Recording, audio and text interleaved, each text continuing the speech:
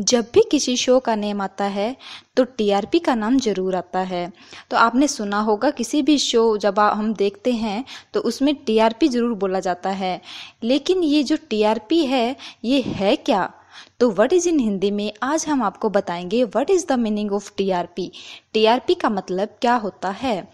तो सबसे पहले हम जानेंगे इसकी फुल फॉर्म क्या होती है, जिससे कि हमारा डाउट क्लियर हो जाएगा। जैसे टी से होता है टेलीविज़न आर से होता है रेटिंग एंड पी से होता है पॉइंट तो हमारे पास टीआरपी बनता है टेलीविज़न रेटिंग पॉइंट जिसका हिंदी में मतलब होता है टेलीविज़न से टेलीविज़न रेटिंग से रेटिंग एंड पॉइंट यानी कि बिंदु।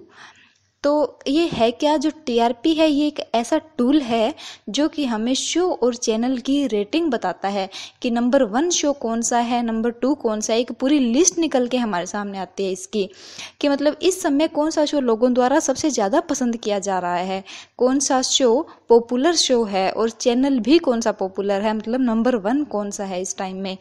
तो इन सबसे हमारे पास ये रिज़ल्ट निकल के आता है कि जो टीआरपी टूल है, वो चैनल की या फिर शो की पॉपुलैरिटी बताता है।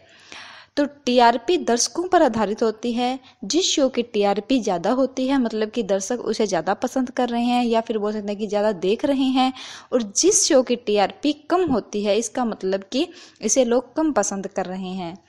तो आज हमने टीआरपी के बारे में जाना। अगर आपको जानकारी अच्छी लगी तो लाइक और शेयर ज़रूर करें। कमेंट में भी डालिए कि आपको हमारी वीडियो कैसी लगी।